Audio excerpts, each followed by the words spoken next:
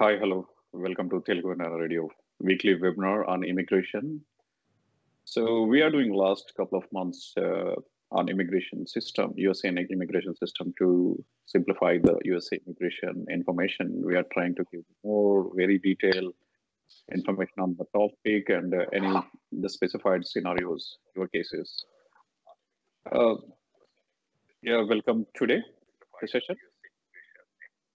Welcome, Lucas. Welcome, Hi, Venkat. How are you? Thank you for having me. It's uh, great to be back for our weekly Wednesday show. Yeah, thank you. I think uh, you are too busy. End of the month, October month. Only two two days is left. How is the situation from your side? Well, you know, we're approaching the finish line for our first batch of uh, uh, GC filings for the month of October. And it's been a hectic month. Uh, we're ready, you know, to have a reprieve, hopefully, uh, you know, with a little bit of the works to go back to a normal, normal work schedule. But, um, you know, we're still, just like everyone else, we're, we're pending the new uh, visa bulletin for November. And, you know, we're quite curious to see what the dates might uh, uh, be set for the, the next month and what might follow with USCIS. Yes, it means uh, that is a very high event. Everyone eagerly waiting for the November visa bulletin. As of now, today is the 20, October 28th. Uh, till date, we don't we don't see any visa bulletin for November. Most of the uh, the 2012 to uh, May 2011 after uh, H1 holders are eagerly waiting for the next bulletin. The USCIS or Department of State will move forward. How many if if how many months will forward to the filing date or final action date? Do you why the November U visa bulletin got delayed? Do you have any information on that one? Yes. Uh, so right now, um, November visa bulletin's delayed from being posted due to some internal disagreements in Department of State. Um, it has nothing to do with the visa bulletin that's being published. There's just some other uh, ancillary issues that are going on that affect the publication itself. Um, based upon you know what we've seen and what we've heard, uh, we expect EB2 to probably advance a couple of months. Uh, EB3 will probably stay around the same general area, if not retrogress a little bit. Um, but you know what I've been trying to explain to a lot of people is you know we have two sets of dates uh, whenever we're looking at the visa bulletin. We have the final action date, which is what provides us the ability to file or have a visa available uh, for the final GC process, uh, which right now for EB2 and EB3 in India, respectively, is uh, 2009 2010. Uh, now, we also have the filing date, which allows us to go ahead and file the adjustment of status application with USCIS. And those dates are the ones that uh, we saw the drastic movements with here this past month in the October bulletin. And, um, you know, even if those dates remain the same or progress or might progress a little bit, uh, it's important to note that USCIS this month has probably received upwards of 20,000 applications as a conservative number. And, you know, USCIS is not going to hire more people to process these uh, applications. So, what are we going to see? Well, we're going to see a large influx of applications being uh, submitted. You know, someone has to be in the mail room, someone has to open the mail, make sure packages are complete, uh, scan the items, register them, so on and so forth, uh, and issue receipt notices. So, if you can imagine your workload increasing 10 or 15 fold, uh, you know, USCIS might come back and say, well, we're going to only honor the final action dates uh, for November, even though the November uh, visa bulletin might have different dates for the filing dates. USCIS very well could just come back and honor only the final action dates, and that would, you know, leave a few people. I think that we're waiting in EB2 to see, you know, hey, my EB2 uh, priority date is um, September, and right now it's in May. Is it should I wait? Should I downgrade? What should I do? Uh, so a few people in that scenario might uh, have a difficult time over the next couple of months if USCIS decides to go ahead and uh, uh, use the final action date. Okay. Uh, Lucas, it means um, this month is October 31st. Uh, tomorrow 29 and Friday is the 30. The 31 is a Saturday. Even even some delays on uh, packing the file and ship got shipped on Friday evening. It reaches to on Saturday to the USCS centers. The USCS will accept those packets, or what? What is the scenario? Well, the so just a rule of thumb, USCIS does not accept packages on the weekend, so they're only accepting packages Monday through Friday. Um, typically, you know, on the weekends, what we do is I'll mail uh, packages on Thursday overnight to get there Friday, um, and then anything else that I mail, I mail on Saturday. So it all, you know, because Friday and Saturday they both would arrive on Monday. So everything probably needs to be mailed tomorrow. Um, you know, the, there is a mail rule sometimes used uh, for certain applications as far as you know if, if it's stamped and accepted by a courier or the post office uscis would honor that uh, i wouldn't risk that because if it is rejected for for that reason um, you know you can't really just turn around and easily refile it's it's kind of a headache so uh, anyone who's listening if they're still thinking about filing i would say your debt your last date to file is going to be tomorrow uh, for it to be arriving on Friday. And hopefully, all application is almost a uh, final review and packing up and trying to send by today or tomorrow, hopefully. So if any delays, we are not sure about the November visa bulletin We'll open for final action, final uh, the filing date or final action date. We still wait for the visa bulletin. It means you, you it means can we expect on Friday the visa bulletin?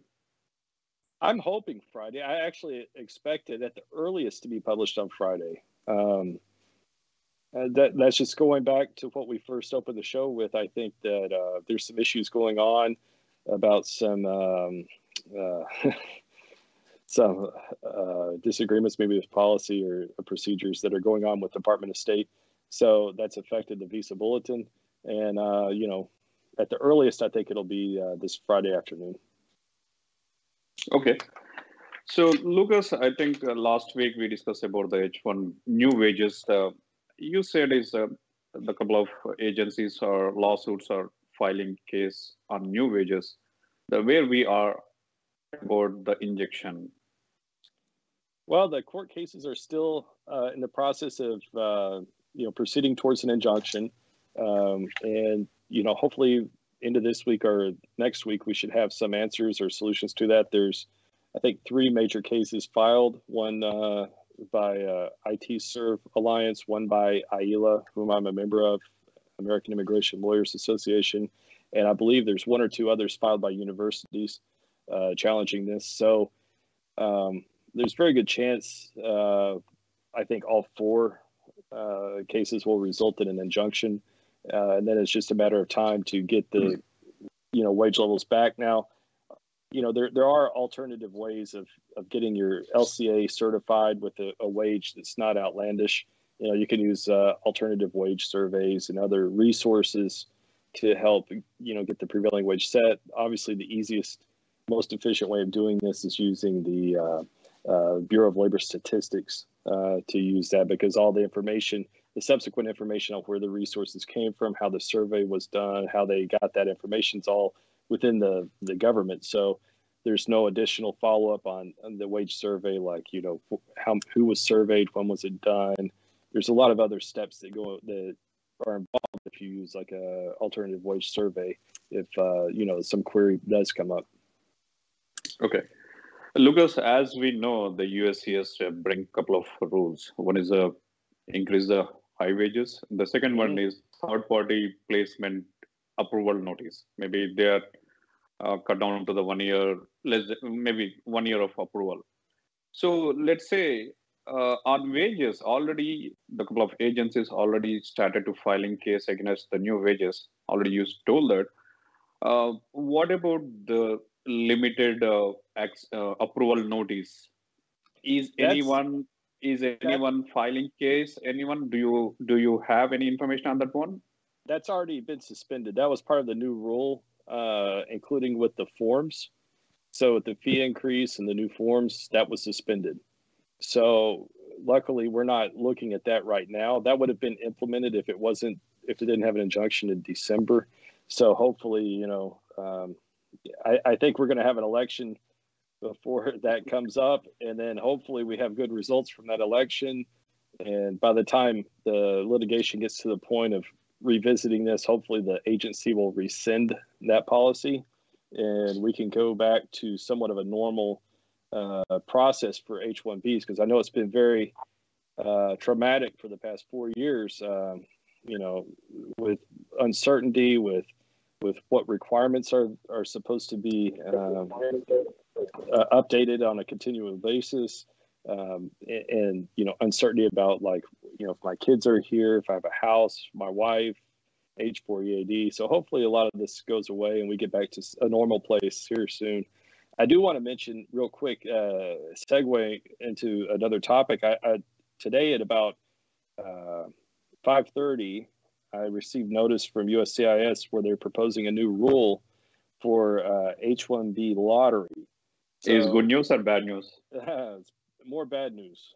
So what they're saying, in the past, if if the requested uh, number of uh, visas isn't initially met, you know, uh, you can just file at any time for H-1B, much like it was 10 or 15 years ago. There's, you know, there wasn't a lottery until later on in the year or whatever. So since, you know, I think 2013, every year we've had lottery because of such high demand for H-1B.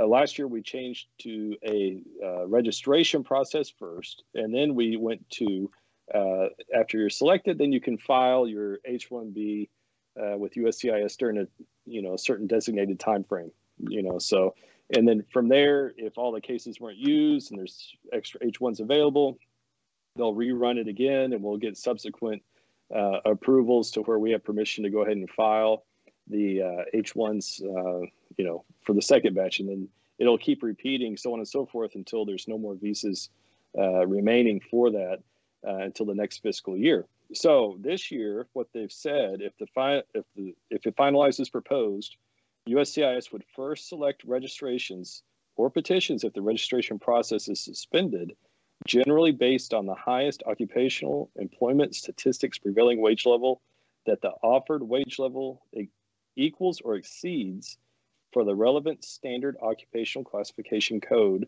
and areas of attended employment. So what they're saying is uh, you know, you have a higher chance of getting selected if you're wage level four, uh, and that's just out of the question now, since they went ahead and revamped these wage levels. You know, as a uh, some an F1 student OPT trying to transition to to H1B, there's I don't it'd be very difficult to find an employer who's going to pay you 150, 160k a year uh, to qualify. So I think also, you know, again, this is part of the process where a, a proposed rule is uh, first submitted. People have the opportunity to comment um, on that rule before it's, uh, you know, finalized. Uh, so hopefully, again, the timing of everything, we're already almost in November. Next Tuesday is going to be the uh, general election for the president. And then, you know, thereafter, this rule would, at the earliest, it would take effect early next year so hopefully, um, at that time, if, if there is a change in the government uh, with the president, maybe Congress, uh, you know, we would probably not see this rule implemented. Okay. Is a public uh, review is uh, 120 days or 180 days?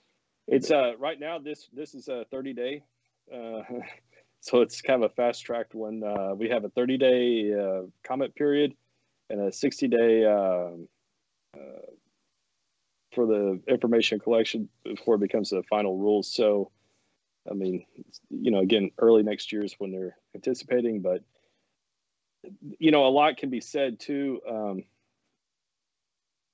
I, I, just think there's a lot of issues that are currently in um, in in motion right now, in the sense that we have a piecemealed effort of changing certain things. It may be piece one, two, and three are no longer valid because of a court case, but maybe piece four they've implemented like the change in prevailing wages. So there, there's a lot of moving pieces to this that I, you know, I think we haven't rectified at the moment. So it's kind of hard to see how all the pieces might fit together, so to speak, until we get final resolution on these topics. Okay, I think uh, this one is uh, will impact more of uh, the student OPT students. I think. Correct. Okay. So, Lucas, uh, uh, in October 6th, uh, the USCS has released the new wages. Is already started, right? When if anyone want to apply the LCA, we need to consider the new wages, right? Correct. So, well, that's only one method. So there, there's three different methods we have really to choose uh, what a prevailing wage might be when we're filing the labor condition application. Uh, one of which uh, is going to be using Bureau of Labor Statistics, the OES wage data, uh, which is 99% of what all uh, attorneys use for the uh, you know, uh, so computer. If let, let's say, Lucas, if I want to take a new LCA, uh, it means um, the Dallas area county, maybe Dallas area, it, it mm-hmm. fall into the 122,000 or something for level two. The earlier it was uh, 86, 84 or 86,000. So it means when I right 94k. Okay, sorry. So if I want to take new LCA from Dallas, uh, it should it uh, it file with the 120 122 right now if if you use the oes wage data from bureau of labor statistics okay there there's alternative uh, wage surveys that you can use there's other resources attorneys can use um, you know traditionally those are done for people uh, in professions like in the medical profession or things like that usually with uh, in the software developer uh, analyst applications we we traditionally rely upon um, the OES uh, wage data, uh, which is published, and that's what changed here recently. So uh, it's, it's nothing really new uh, that you that you can use as far as like an alternative to this. It's just typically in this uh, for these careers for for software developers and analysts and things like that, we typically just rely on the OES wage uh, wages posted because the difference the old wages wasn't that great. Uh, so it's just easier to to use the that data. But now, I mean, you know, there's other resources we could use. So it's not like you have to uh, be all or nothing as far as 120k. Okay, is it a private agency? How it is? Um, yeah, so they're private private surveys. So you can get you know from nonprofits or from other, uh, you know, HR, you know, um, um, I guess agencies or things like this. They they have different surveys that they publish. So you, you know you can subscribe and you know review that, but uh, there's certain requirements that you have to meet before you can just rely on use a survey. So um, you know pretty much attorney or the uh, petitioner would have uh, a subscription to you know uh, utilize that information. Okay. Lucas, I have a question on LCA. One of uh, uh, send the question. Uh, what if a new LCA is filled with the listing the new address and matching the salary as per the new prevailing wages, but the rest of the stuff like roles and roles and job description in intact? In this case, does it trigger an amendment? Ask me again. So the LCA filed is already there, and you're why are we changing the L, the why are we filing an I th- I think um, he changing the address. Uh, uh let me give the brief information about the LCA. He got recently uh, extended. H1B mm-hmm. H1 got extended 12 uh, 2023. Currently, he is uh, residing one of the apartment. The ones mm-hmm. after approve the H1, uh, he he want to move the another apartments so unfortunately, his work location is a is a home address. Mm-hmm. So if he want to move to the other apartment, so in this case, he want to file the new LCA, right? Because uh, is there is a material change, mater- material change for work location. So, uh, real quick to answer this, depending on how the attorney handled this. So, typically, like when I file uh, LCAs for people uh, who are working remotely, we always list, you can list multiple work locations. We always list the home address, maybe if that's a primary, and then the actual incline address. Uh, and then that way, that allows an itinerary to be used.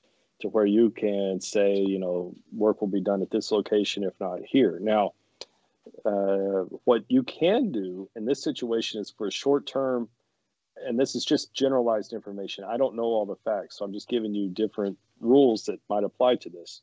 Uh, you know, if you have short term uh, placement to another location, uh, let's say for six weeks or four weeks, uh, then that might be fee- that that's permissible to work there uh, without having to file an amendment. Now, if you work at a different at a new location for you know 10 months that, that would obviously require the uh, an amendment to be filed. Uh, now the amendment doesn't have to be filed with uscis but you do have to pull the lca with the new work location and that would have the higher wage level. So if you're in a scenario like that it's best to talk to your employer and also the uh, attorney who might represent the employer. And you know hopefully if you are moving and let's say you're moving out at the end of this month um, and there's a you know a grace period of you know let's say a couple of weeks to, until everything gets back to normal you could probably uh, just you rely on the short term uh, change of work location uh, you know if that were to come up. But uh, hopefully that answered the question. I, without going without knowing more details as far as like all the work locations listed and everything else would be hard for me to say. Okay. Okay. Thank you. So lucas uh, I come back on this October visa process. Mm-hmm. Almost uh, we are at the end of this October month. So in this October we visa bulletin, most of the applicants are downgrading from EB2 to EB3. We have already been discussing uh, from the last month. Still, we do have little bit confusion about the I-140 while downgrade to EB2 to EB3. I'm here uh, two things in I while applying to the I-140. One is the amendment. The second one is the new file for the downgrade process. Let's say when we do consider for the amendment and when we do consider for the new file, new, applying for the new new I-140 in downgrade process. Okay, so we're kind of confused again on the terminology. I, th- I think it's easiest to remember like when people refer to amendment, that's what I would refer to as a downgrade. Um, and when you're filing a fresh case, you're filing a fresh filing. So it's independent of whatever is already there. So you're just filing for a new visa category. So if you're filing for a downgrade, what you know typically what's going to happen is, uh, regardless of what you're filing, you have to have a certified labor uh, ETA form present. Now you're able, is, is part of a Neufeld memo from 2007, you're able to reuse a labor certification if it was filed in support of an I-140. Now the I-140 doesn't have to be approved; it can be denied or, you know, approved and withdrawn or something like that. But it can't just be unused. If it's unused, it expires. You can't use it. But if it was filed in support of another I-140, you can use that. Now, the caveat with this would be uh, the safe bet would be to file what we, you know, is a downgrade or to amend is what the terminology is, you know, people are using, but it's really better to say downgrade uh, in the sense that what happens is when you file the, the new I-140 along with the concurrent filing of the adjustment and every, everything else, USCIS literally goes and will get the file or request a copy from DOL of the certified labor, uh, the ETA. So, you know, they're actually going to take it and put it with the new petition. So it's going to be there and support it. Um, I know there's been some people saying, you know, if you downgrade, we don't have uh, original signatures or anything like that you know you can you know that i don't know how true that those fears are. I know a lot of people are referencing statements from AILA which have nothing to do with that. And uh, but uh, you know you you don't have to resubmit you cannot resubmit the original uh, ETA because the ETA is already the original ETA has already been submitted right? So you can request on the I-140 to not downgrade but just reuse that previously used ETA in support of a new petition right so typically what we do is we'll, you know, for reference, we'll include a, a copy of that ETA, but on its on its own, you can't just file a copy or download a fresh copy and sign it or have a scanned copy or anything like this and just send in. It has to be, you know, uh, a previously filed ETA. And those, if most people remember, they come on the blue paper and they're signed by the certifying officer, et cetera, et cetera. Okay. So, Lucas, uh, the confusion is uh, if we are downgrading the I 140, uh, maybe I hear, I, I hear I hear we can apply the two two steps. One is a downgrade, maybe amendment. One is a new file. So if we go for the amendment, the existing EB2 will not use in future if anything happened in uh, um, anything happened in uh, the current downgrade process. If you apply the uh, new I-140, it means I hear it means we can use the both uh, the downgrade I-140 as well and uh, the previous EB2 I-140. Is it correct or is any? Uh, can you clarify more on this one? Yeah. So I mean, what you're saying is true as far as a downgrade and a, a duplicate, you know, an additional filing where you have two I-140s. Okay, so you have to go back to the beginning. What is the strategy for this? If people want to hold on uh, to this EB2, you know, because they believe that eventually the final action dates are going to become current faster than the EB3 final action dates. Now, once you file, let's say your priority date's 2013 August and you downgrade to EB3, well, EB2 2013 August priority date's still uh, four years away. Okay. So you're, I mean, and, and how many people are in that four year gap. So that could still be more than four four actual years. It could probably be ten actual years. Uh, so, you know, what is the goal of what we're trying to do? So instead of being concerned about what happens to EB2 or things like this, people should be focused on the fact that, hey, I want to put my hat in the ring, my foot in the door, so to speak. I want to make sure I have a placeholder. That way, if a law changes or something happens or Congress issues more visas to get rid of this backlog, I'm already there and it doesn't matter if I'm EB2 or EB3. That's the strategy to be used. We shouldn't focus so much on uh, what transpires between EB2 and EB3 because no matter what happens, we have a broken system at the moment uh, with immigration. We have thousands and thousands of people who are stuck in a backlog. Okay there's no certainty there's no uh, uh, planning that you can do for a future. And unfortunately there's people who might spend their whole career in h1b before they have the opportunity to even have gc in hand okay? So th- this has to come to a, an end at some point you know? Some some fresh people now that are filing and have a priority date in 2020 you know we're, we're talking like 60 or 90 years under the current system before they can even get a visa uh, I just think you, you have to look at everything as a big picture, not focus so much on, um, you know, what's the difference between a downgrade versus a fresh petition. You know, the safe bet's always going to be going to downgrade and get your foot in the door and, and, and, rely on that. Not so much to worry about what happens. You know, if you're downgrading from EB2 to EB3, the uh, labor that you used has already obviously been supported and approved to support a, a EB2 petition. So it's you can upgrade at that point. Okay. The only difficulty that comes in that scenario is if you're EB3 and the dates move quickly and you want to move to EB2, well, it takes a little bit of extra analysis and work to make sure that your labor that you have would qualify for EB2 filing.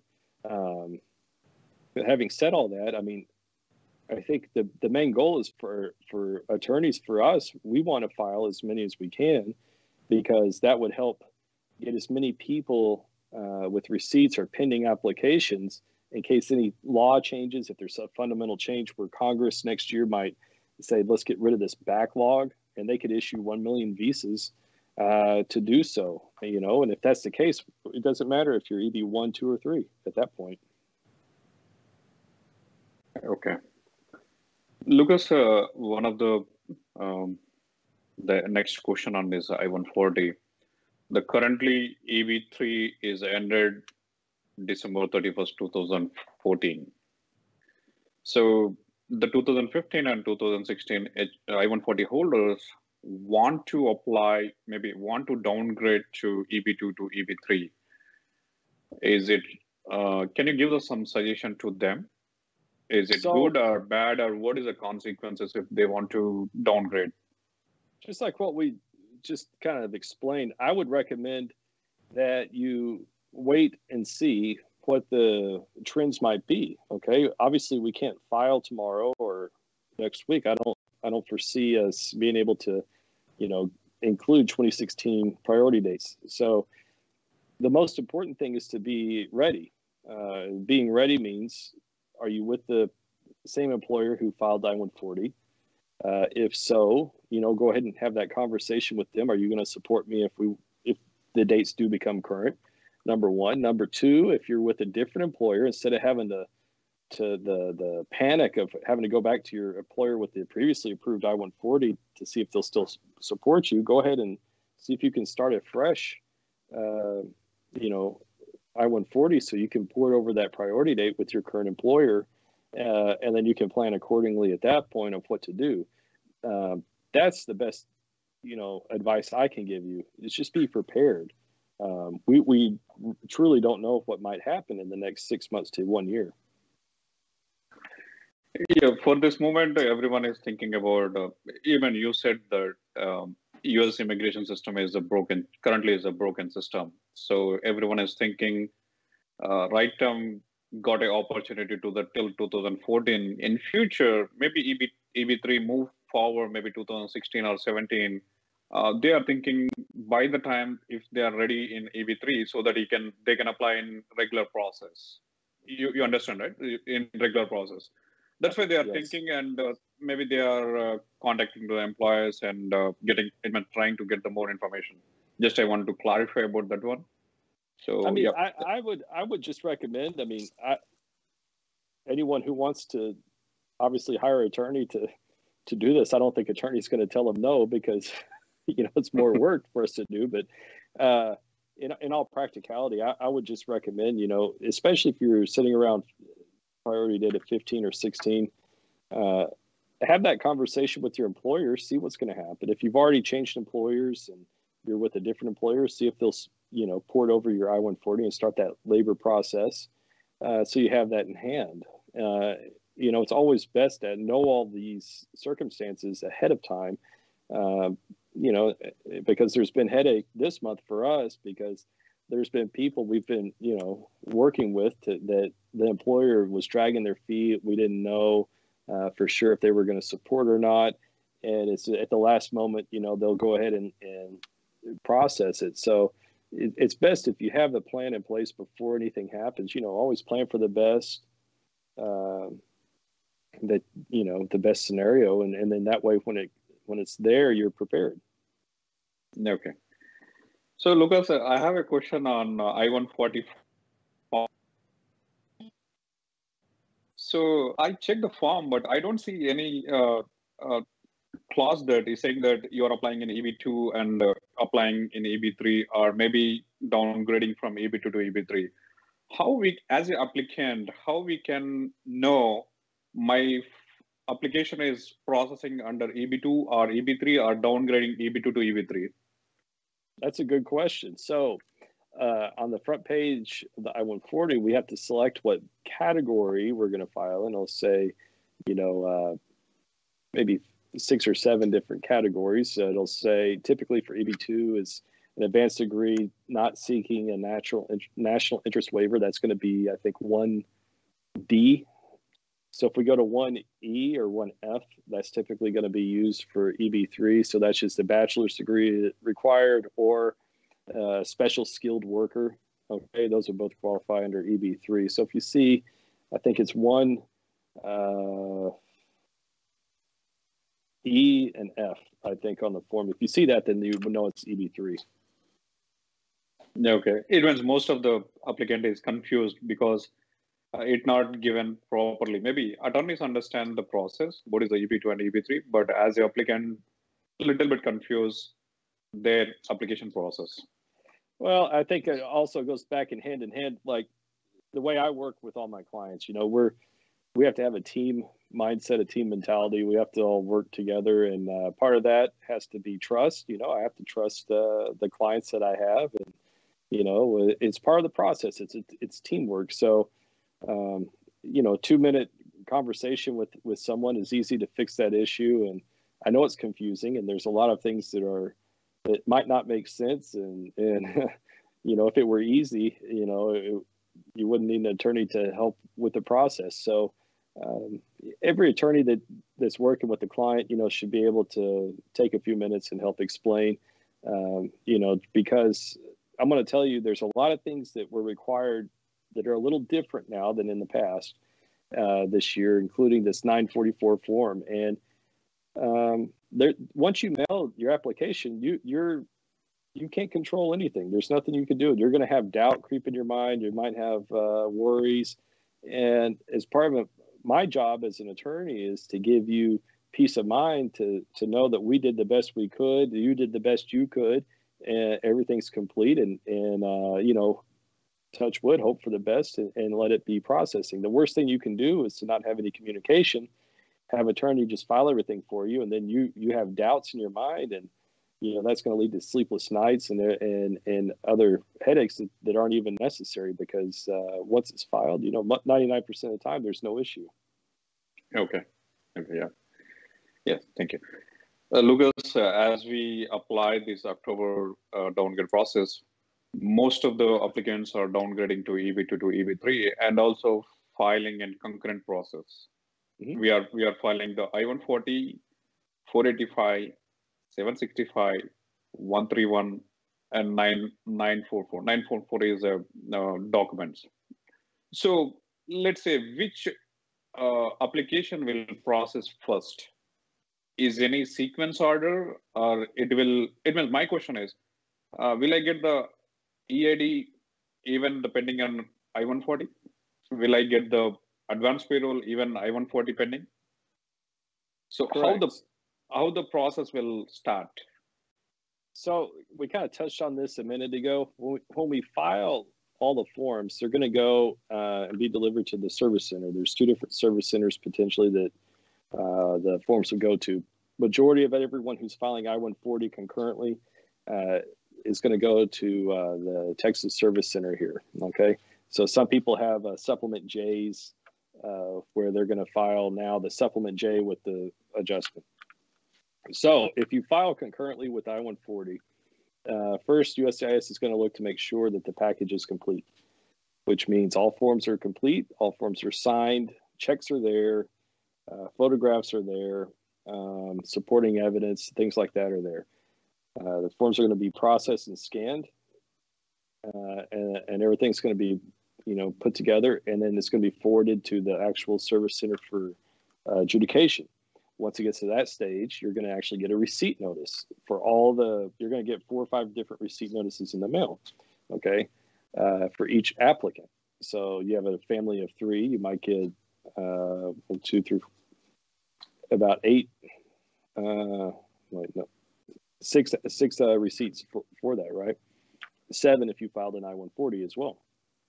So that process is going to take about six to eight weeks. So it's not as fast as like a H-1B or anything like that, where we might get, especially with premium processing, we should get the receipt the next day or something like that, or the regular process it usually takes about a week to 10 days. This is going to take a month, month and a half. So people um, are going to be panicking and worried about, oh my goodness, did my package get accepted? What's going on? Uh, you know, and we just need to understand and all know that this process is going to take a little bit longer. It's a little different than what you might be used to with H1 filing. So uh, receipts, you know, are going to be, you know, between, um, you know, four to eight weeks, six to eight weeks, something like that, before you receive in hand. Uh, once that happens, moving on to the next part of the question that you asked, um, the I-765 or the for the EAD and the I-131 advanced parole are going to go ahead and be adjudicated. Uh, along with, if you filed I-140, they're going to adjudicate that. Now they all kind of go. Uh, each application at that point would more or less kind of go its own separate uh, way as far as adjudication, as far as being independent. So I-45 is going to be for your adjustment of status, That's going to be uh, processed independently of your 765 and I-131, uh, and your I-45 is not going to be actually processed until the final action date becomes current. So it's going to, you know, lie in a dormant state for however long that might be. Um, your EAD and advanced parole are going to continue being processed. Uh, they're going to be valid for one year.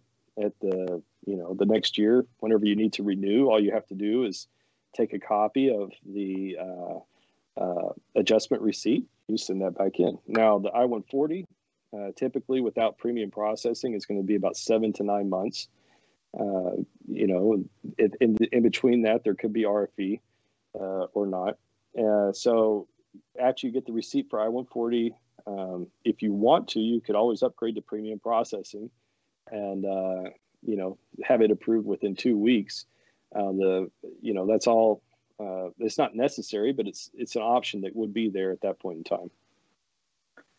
Okay, the Lucas you said is even uh, I-140 is uh, pending, and we can get the EAD and advanced payroll let's say if any H1 holder want to use the EAD and advanced payroll, even I-140 pending, can they use the advanced payroll or EAD? They can, but it's very important at that point. You should always maintain non-immigrant status because, you know, what happens uh, if you're waiting for the nine months and then your I-140s, something happens and it's denied. Well, the 485 is also going to be denied, and any and then once that happens, your EAD and I uh, advanced parole are going to be canceled, and you won't be able to renew beyond that point. So you're going to have to have a fallback provision at that point. Now, um, you know, it, everyone has their own specific scenarios of what works best for them, but I always recommend it. it you know, the best course of action is always maintain the non-immigrant status until uh, you have the, the GC in hand. That, that's the best practice. Okay. Okay. So yeah, that is the same. It means uh, once we get the 485 EAD and uh, advanced payroll, already you you explained to maintain the the non-immigrant status. So if if anyone want to use the EAD and advanced payroll, what is the consequences? Maybe before that one, what kind of uh, in in which which in which situation the 485 might be denied. Did you see any uh, cases in your experience? Well, it does come up time to time. So let's say for a common example, this might be um, employer A uh, filed for your I 140 in 2011, let's say. Okay, uh, your EB2 and everything's pending and you still have to wait four or five years. Let's just say under the current system you're waiting four or five years for the gc well you still have to go to interview. At the interview they're you know they're going to ask questions and review the record. Where have you worked? You know what have you been doing? Who do you report to? Similar you know what might come up in an h1b if you have one of these uh, administrative site visits or emails you know that they do now they're wanting to know this information so what if that information doesn't match with the employer? What if the employer that you had, something happens where they had fraud or misrepresentation? Well, at that point, I mean, even if you're harmless, they're still your your 45 still going to be denied for um, you know fraud or misrepresentation. Okay, let's say Lucas, uh, uh, if any uh, H1 holder got the EAD and payroll temporarily you want to use this advanced payroll and uh, EAD for the next couple of years. The, after two years, he want to come back on H1. What is the process to get on non-immigrant status? Well, you'd have to change your. I mean, you typically the EAD is not giving you any status so much. So, so here's here's the issue. This is part of the reason why I say our immigration system is broken. Typically, when this process started, you're able to file all at the same time so you can go ahead and get your work authorization and then within you know six to nine months you're going to have your gc in hand there's no intention to ever renew there's no need to renew in the past so then uh, we get higher demand so then what happens well it's going to take more than one year to process your gc so now while it's pending you can work on your ead and then you might have to renew it one time. Well, now uh, the backlog is such that I mean we're talking years. So what can happen in the in all these years of waiting? It's best to always have you know. So I, I know people who have uh, worked just on the EAD, okay, um, and that's just fine. It, you know, as long as everything goes well. Uh, if, if for whatever reason it's denied, your I-145 45 is denied, you, you know, you'll have 30 some odd days to depart the United States because you're not going to be in status, right? Yeah, and within the 30 days period, the applicant is a chance to apply the H1 if anyone offer the job. Uh, probably, uh, probably not. It might. I mean, it, it, each scenario would have to be looked at independently to see who who might be able to benefit from that and not. I mean, if that happened, I mean, is the I 140 also denied? If so, then does that mean that you're no longer cap exempt past six years, right? So there's a lot of things that go into this. So a lot of people, you know, at this stage have are already using their I 140 to extend beyond the six years. If something were to happen and, and that I 140 is no longer valid, how can you? I mean, there's no way to even extend beyond six years, right? Okay, is an interesting question, interesting uh, information let's say the 485 got denied, it means uh, underlying I-140 got automatically denied or? Well, that would be why it would be denied. Correct. So typically if they're, and we're getting into very specific details here. So if the underlying petition was uh, misrepresentation of fact or uh, fraud or anything like that, typically the underlying petition is going to be denied. When that's denied, um, 45 is also going to be denied. Okay. Okay. Um, okay. Typically, th- those usually go hand in hand. Okay. Let's say is uh, uh, the employer is uh, everything is good. It it file is uh, uh, he don't have any fraud fraudulent uh, information. That applicant had some maybe some criminal history or something he did not mention in uh, in application process. And 485 at the final processing, he got it triggered all criminal history and uh, got denied. In this scenario, it will not deny the 485, right? No, it will deny the 485, but not I-140. Is it uh, true or it? So I don't want to answer specifics because there's always uh, things where we can maneuver. Um, I've had it before where people haven't disclosed a DUI or an arrest or something like this, uh, and we've just been able to update the the application. Now, it's I recommend, you know, no matter who says your record's expunged or anything else, USIS is going to know uh, if there's any issue with the law. So it's always best to disclose. They're not going to say you're inadmissible based upon, uh, you know, a DUI. That's not one of the grounds of inadmissibility. Okay, if you're communist, a socialist, if you were a member of a totalitarian regime, if you did military training, human trafficking, drug trafficking, you know, there's you saw all the check boxes and no's. Okay, those are all there because that's what uh, typically makes you inadmissible. Or if you have some uh, certain health related grounds, you know, that you could be inadmissible at that point. Um, so typically, and, and we specialize in this a lot. This is a lot of what we do when we go to immigration court um, there's a lot of uh, specific details that go. If you break a certain state law, how does that affect the federal regulations, such as uh, immigration law and things like that? Uh, does it meet the same standards? So there, there's a whole other field of juris, jurisprudence that goes into that direction that we also handle um, and we navigate. So just having an arrest or something like that is not necessarily going to you know exclude you from adjusting your status. It just depends on what it might be. Okay. So Lucas, I have uh, one more scenario on same I-140 and 485. Let's say one H-1B holder uh, applied the I-140 in company A, mm-hmm. got approved. Later, a couple of years, he moved to the another company.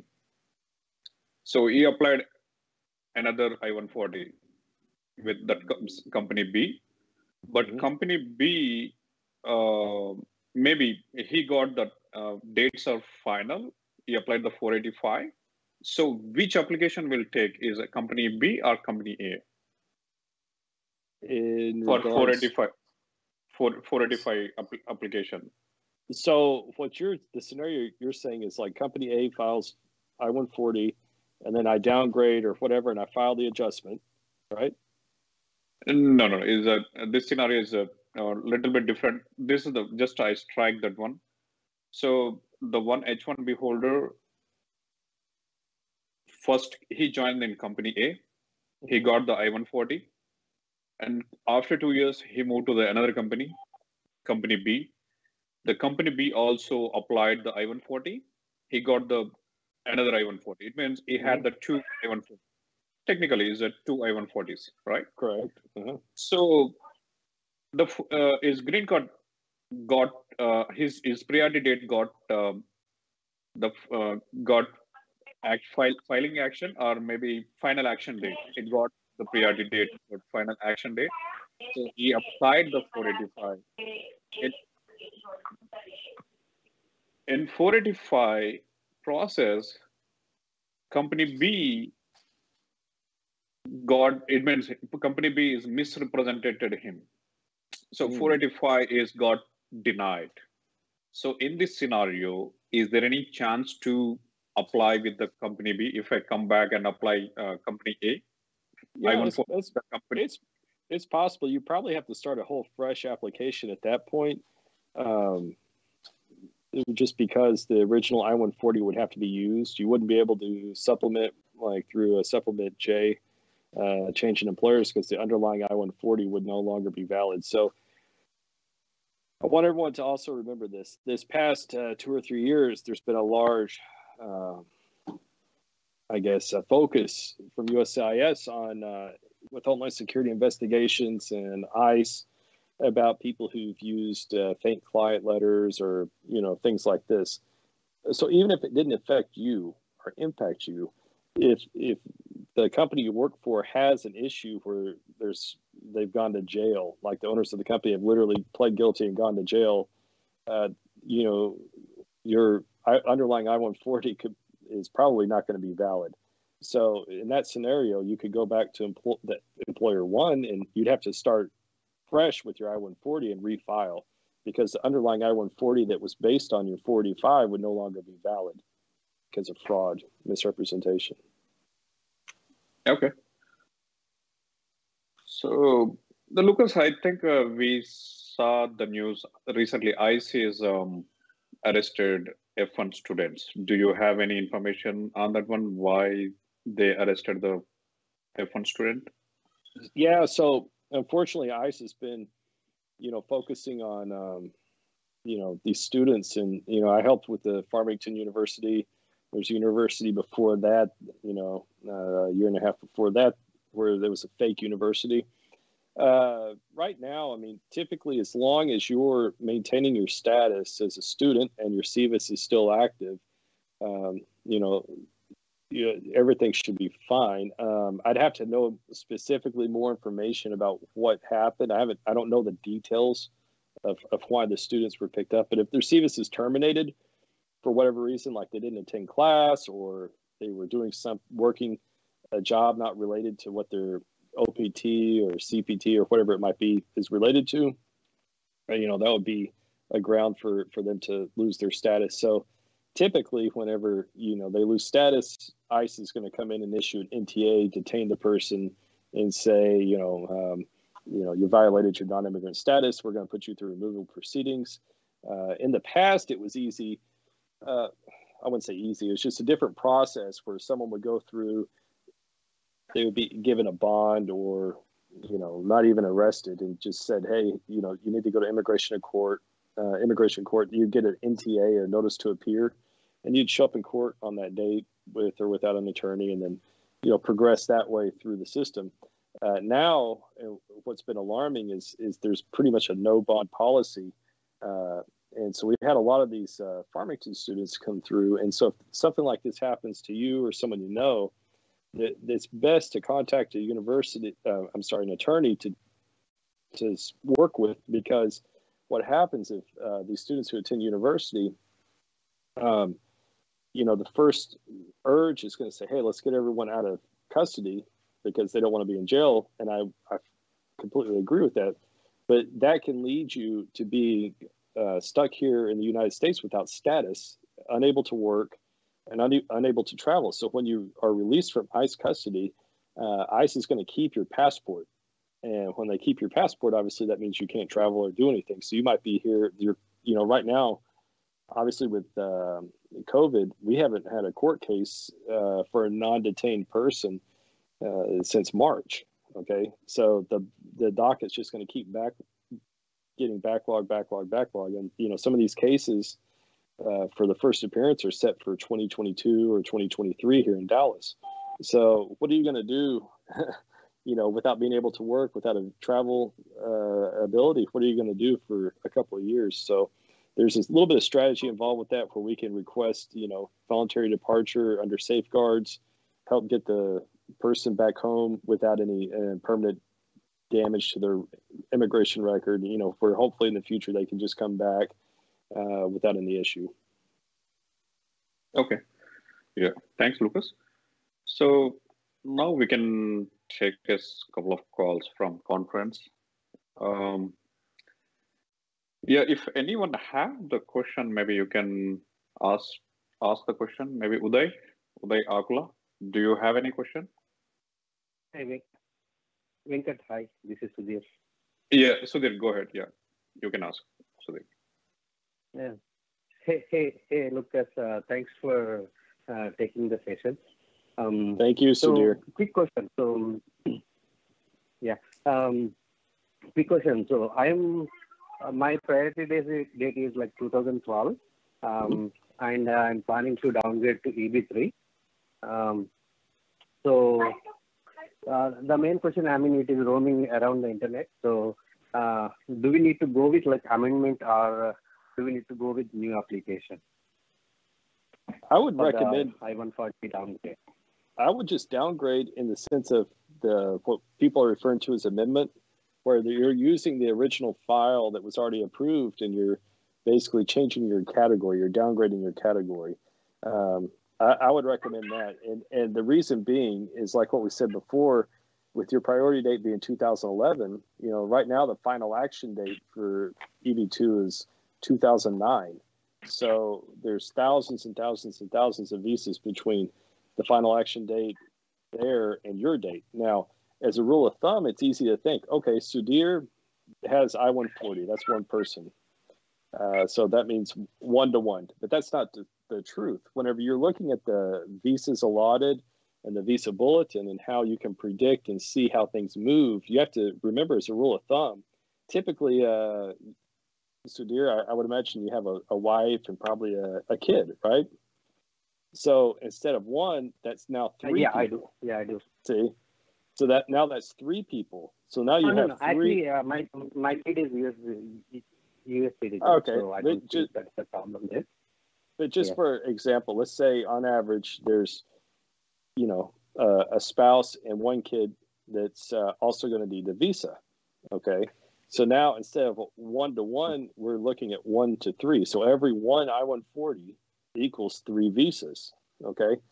So if you can, you know, add that up to 20,000 plus pending EB2s, I mean, that, you know, that, that can exponentially grow quickly. So the, the basic idea is, and the strategy is for you to file so you have a placeholder in case there's comprehensive immigration reform. That's the most important thing. If you already have your adjustment filed and let's say the law changes or anything else, they might say uh, to help clear the backlog, anyone who has a pending I one I forty five at this point, the visa is automatically available, right? Congress can do that, and at that point, it doesn't matter if you're EB two or EB three. At least you have your foot in the door, okay? And that that might preclude or or you know have people miss out who don't have the adjustment filed and pending. Does that make sense? Yeah, yeah, Lucas. Um, um, yeah, just uh, I mean, a follow-up question on that one. So uh-huh. if we go with amendment, um, um, so in future EB2 dates uh, move forward. Can I can I go back? My correct EB2 I140 is still there. Correct. You could go back. You you would have to upgrade at that point, but you can. It's virtually the same process Okay. as the downgrade. Now, the only caveat with that is, like I said it, it- during the show, is like, does the ETA support the EB2 category? Well, you already have EB2, so we know it's already supporting it, right? So if you were originally just EB3 and you wanted to upgrade, that's where the, the issue lies, where we would have to be careful because we don't know if the the recruitment details, the job posting, like the requirements for the job itself, meet the standard of what would be required for E EB2. Lucas, the following question on the No, same, no, my um, the same, and, and you said this, if EB2 is moving forward, we have an option to upgrade. While upgrade the EB2, we can utilize the same um, ETA? Yes, The that's, that's that's the whole uh, process. So, you know, we have there, there. This is the whole process of what people are referring to. We have a, a memo that was published in 2007. In this memo, it's basically saying if you have from Department of Labor a certified ETA that was used in support of a filed I-140, whether or not the I-140 was approved or denied, you can still reuse that labor for future filings. So what does this mean? Well, let's say something happens, I file your case and I-140 gets denied for some reason, okay? But we can then refile even if the labor is expired. Okay, that's one. Two, uh, in this process from 2011, we can reuse that same labor, downgrade or do whatever we want to do. It, it's, you know, that rule applies across the board, upgrade, downgrade, refiling, whatever it might be. Because we're still talking about the same job, right? The same job that's offered. Does that make sense? I think yes. Yeah. Sudhir, um, is clear your question? Is and Yeah, do you have um, any? uh, uh, one, just one thing to clarify. So you, so Lucas, you were saying uh, if EB2 dates move forward, then I have to uh, port from EB3 to EB2. Uh, for that, I need to apply I-140 again. So Correct. I cannot use my old I-140 with E EB2. Correct. In the sense, in that scenario, in the sense you've you've taken that one approved one and you've modified it to a different category. Now that's the safest procedure, right? That's the best way, in my opinion, of doing this because you're you already have an approved I-140 and you're requesting just a change in the visa category. Okay, but you know that that's what I would do. Mm-hmm. And and, and like I said, oh, don't. Uh, keep this mindset that you have to have EB2 because tomorrow the dates are going to be there. Right, right now, you know, if we just let everything play out the way it's set at the moment, you're you're years away before EB2 final action date even gets close to your priority date. So, um, I've had clients in from 2009, you know, uh, let's say uh, June 2009 that we're waiting for two years just from the April 2009, May 2009. I mean, it's just, it takes that long to move these final action dates. So you have a better chance of comprehensive immigration reform where uh, the backlog is addressed and, and all the people with pending I, I-485s get the visa, you know, automatically, right? Based upon what Congress might issue. Got it. Thank you. Thank you, Lucas. Thank you, Venkat. You're welcome. Yeah, thank you, Sudhir. So, Lucas, uh, one question on this, uh, maybe follow-up question. Or let's say uh, any H1 H1 applicant uh, applied applied the I-140, the form got approved, he about to apply the I-140. It means, uh, is the right way to apply?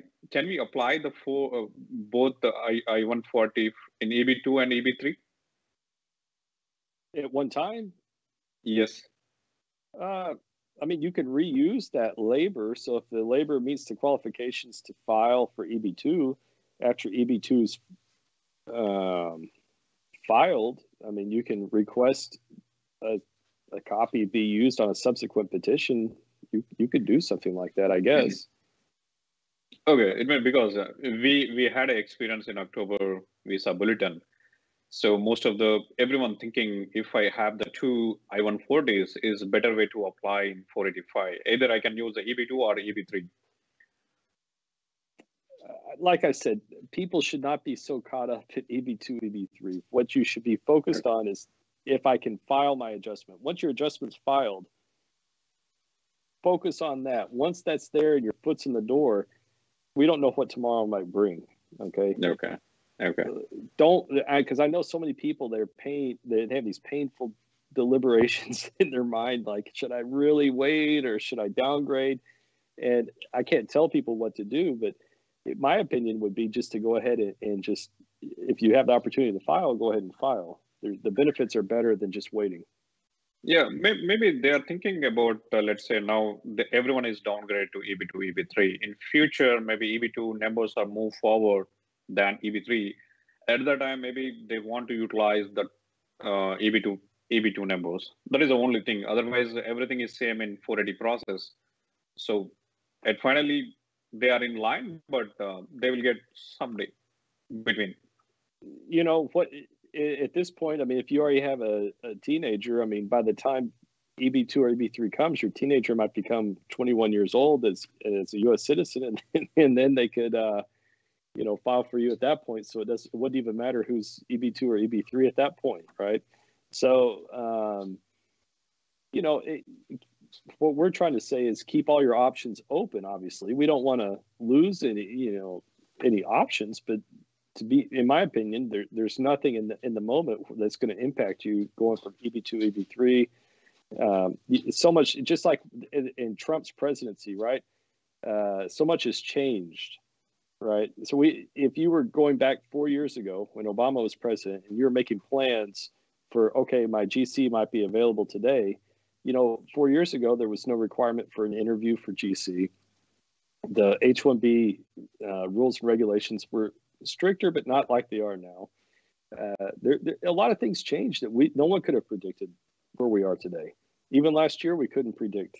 Uh, now we're talking about prevailing wages being astronomical, and we're seeing, you know, what are these third-party offsite requirements? What is this employer-employee relationship? You know, no one could have predicted all this. It, it, that's why I say, like, you should take advantage of today uh, and plan for tomorrow, obviously. But at the same time, don't be so nervous that you miss an opportunity. That that's my advice. Okay. Yeah. Thanks, Lucas. So we try to take another call. Uday, do you have any question? Uh, hi, Lost. Uh, yes, actually, Uday. My question is answered. Uh, can you can you hear me? Yes. Yes, Uday. Hello. okay. Yeah, my uh, filing date is uh, my priority date is uh, August uh, 2011 and EB2. So I was in the fence whether to downgrade or not. So I was waiting for the next bulletin to release. Uh, I think uh, hopefully I don't think we'll have anything by tomorrow. So I might go with the downgrade option. You know, it's it, I, I really feel for people in your position. It's it's a tough scenario to be in. You know, what what should I do? Should I wait and see what happens when you know? And the bulletin's not doing us any favors at this point uh, by taking so long to be published. But you know, it's it's each person has their own signif- circumstances uh, and significance of when to file or why to file. So uh, you know, good luck, and, and hopefully, if you want to file, you you can do so quickly because you really need to have everything in the mail by tomorrow. It sort of rise on Friday. Yeah, uh, I have all the documents ready. But the only thing is, uh, I was nervous that uh, will there be any negative impact if I'm downgrading from EB2 to EB3 because there are a lot of people doing it, right? So uh, I was worried if USCIS uh, can come up with some new rules to restrict. Well, again, what I would suggest is to see like what the opportunity is. If you have your foot in the door, if you're in line, um, and let's say USCIS at November goes back to final action date for filing. December, the same thing happens. And then, you know, early mid next year, we have policy changes, law changes, anyone with pending uh, adjustment application. You know, this has happened in the past, you know, 1999, we've had certain, uh, um, uh, I would say, grace periods or great things that help uh, move the needle, so to speak, as far as like certain filings for family-based petitions. Uh, there, there's a lot of things that can happen, and most often for these backlogs, when they're addressed, is it's focused on what do you have uh, pending as of date X. Okay, so I'm just trying to share the information that it's best if you actually have a, an adjustment pending by date. But you know, if we file it today, then whatever happens in the future, you're already set with a, a pending adjustment. And then that way, if the if they say, well, it had to be filed by this date or this date, you're already covered because you know it won't retrogress beyond you know back before you filed, so to speak. Is that if that makes sense? Yeah. Yeah. Thank you. Thank you. Thank you, Uday. Thanks for call. So Lucas, yeah, we already passed 12, 12 minutes, seven. So we can um, close this session. Do you have any additional information shared today, this uh, week? Do you have any additional information on um, GC or H1 or any new information, or if you want to cover anything? I think uh, we already touched on some of these uh, new processes and new rules. Uh, I would like to close this week. Uh, we're six days away from the election day. And I know people right now, everyone's working remotely, but if you have any friends that you work with or colleagues that are citizens, um, you know, it might, it might benefit everyone if you shared your experience and your story, just so people understand what the impact is on these elections. So if you have a colleague who's a citizen and they know you personally, if you shared your experience or your story, they would know the you know the consequences and, and, and, the ramifications we have on this upcoming election to to participate and vote. So uh, usually, my experience, you know, a lot of uh, the jargon and a lot of the talk we hear on the radio or the TV, uh, you know, people kind of get you know tuned out with all that. But if there's a name and a face that goes with it, and people say, "Hey, you know," that's not fair what's going on for this person or that's you know to live under this uh, uh, uh, uncertainty is not fair you know it, sharing a simple story could impact a lot of uh, uh, things that happen in, in, the upcoming election so if you if everyone's comfortable or if they have good friends or neighbors or colleagues you know share your story. It's it's it's always important to do that. And, and that way people understand the ramifications that the election might have on you and, and people like you